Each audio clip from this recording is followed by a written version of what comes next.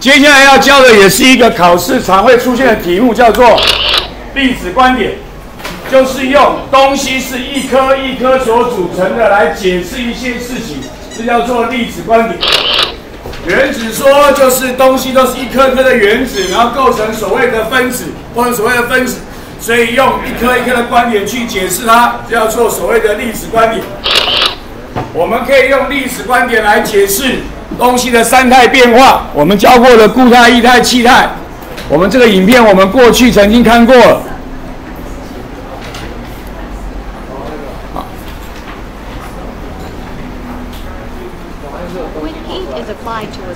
好，固体的时候就一颗摆的好好的，所以体积固定，形状固定。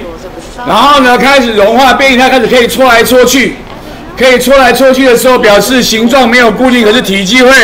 固定，然后这样可以这样子可以移动，这样搓来搓去，它分子的距离会变大，然后呢可以比较活动性会增强，然后继续加热，继续加热，然后等到它变成气态的时候，就变成一颗一颗的跑来跑去，到处乱飞，到处乱跑，所以体积也不会固定，形状也不会固定，这就是所谓的气体，所以这叫做粒子观点来解释固态、液态跟气态，所以固态摆好。不大会动，还好不大会动。液态比较可以动，但是基本上束缚还在。气态各自奔逃，所以体积不固定，形状也不固定。这个是用粒子观点来解释三态。粒子观点可以解释热胀冷缩，因为受热的时候东西比较会动，距离会拉开，所以体积就会膨胀。冷的时候比较不会动，距离会比较靠近，所以就收缩。所以基本上还用粒子观点解释为什么会热胀冷缩，可以用粒子观点来解释扩散。气体比较会扩散，因为气体可以到处乱跑啊，所以可以从这边跑到别的地方去啊。液体在液体里面也可以散开来，可以跑开来，所以就可以解释扩散。为什么会从这里跑到那边去？可以解释扩散。然后也可以知道温度越高。东西会跑得越快，所以表示扩散速率就会越大。我可以解解释说，哎，为什么会温度会影响扩散的快慢？可以了解。然后可以解释溶解跟过滤。溶解就是它被拆开来了，然后小分子塞在那个大分子中间就溶解了。溶质被拆散，塞在溶剂的中间要溶解。那这样可以解释什么？悬浮容易啊，悬浮其实是没有溶嘛，太大颗了嘛。还有所谓的胶态容易啊，大颗一点嘛，所以呢，一坨在那边，所以会造成到光路啊什么之类的，都可以用这方法来跟跟跟大家讲，来解释会溶解，也可以解释过滤，就是因为颗粒有大小，所以可以过得去或过不去，所以就可以过就可以解释掉它为什么可以过滤，可以解释过滤。比较重要的是这种。可以用粒子观点来解释什么叫元素，什么叫化合物。如果这里面只有一种原子的，只有一种原子的，只有一种球的，那就叫做元素。所以甲里面只有红球，所以甲是元素。乙里面只有绿球，所以乙也是元素。里面只有一种原子的，就叫做元素。如果有两种以上的原子，不就两种以上的元素，用一定的比例，就是一定的种类、一定的数目、一定的排列方式结合的，就叫做所谓的化合物。所以丙每个都是一红两绿，然后这样摆这样子，形状也都一样，那么它就叫做化合物。所以呢，甲跟乙叫做元素，丙叫做化合物。这个是我们考试比较会问的问题，就开始问你。谁是元素，谁是化合物？等一下会问你，谁是纯物质，谁是混合物？就是用粒子观点来解释，用这来解释一些像现象。后面还有一些别的，我们待会再说。好，我们现在就要用粒子观点来解释什么叫做纯物质，什么叫做混合物。纯物质就是里面只有一种分子，手伸进去拿出来东西都长得完全一样，这样叫做纯物质。甲怎么拿都是一颗红球，所以甲叫做纯物质。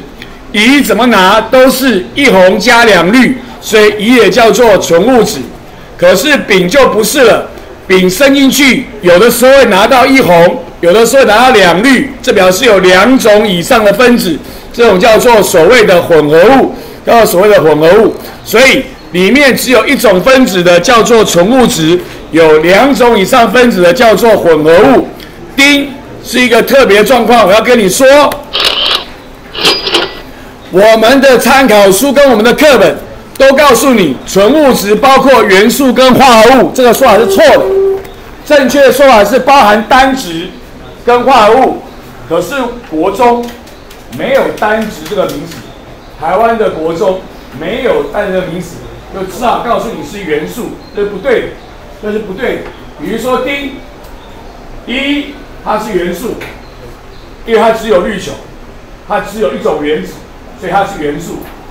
二它是混合物，因为手伸进去，有的时候抓出两氯，有的时候抓出三氯，所以它是混合物，还有不同分子，不同分子，所以告诉你说，纯物质分作元素跟化合物，这个说法是错的。不过因为台湾都这样教，考试就这样考就好，但是完全是错的。啊，像丁这个，这个我记得考过，丁这个图我记得考过，它是混合物，它是混合物，它是混合物。OK，就是用粒子观点跟你解释什么叫纯物质，什么叫混合物。只有一种分子的叫纯物质，有两种以上分子的叫做混合物。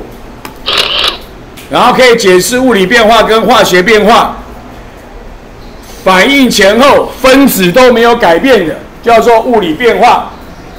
左边都是一颗一颗的绿球，右边还是一颗一颗的绿球。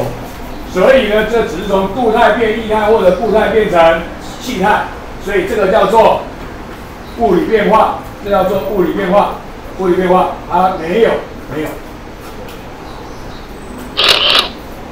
化学变化就是会分子会重新的排列组合，会产生新的分子，前面长这样，后面长那样，分子不一样了，重新排列组合过不一样。所以这种叫做所谓的化学变化，要化，现在做元才有新的分子会生成，有新分子会生成，啊，前面是两红加两绿，后面变成有两红的跟一红跟两绿的，OK，好，这样叫做化学变化，这就是用粒子观点解释物理变化跟化学变化，整个粒子观点的比较会出的问题就是问说，请问你图里面显示的是？元素还是化合物？图里面显示的是纯物质还是混合物？就我们已经跟各位讲过判断的方法了。这个就是你要晓得的事情，叫粒子观点解释这些无为不为，OK 吗 Okay.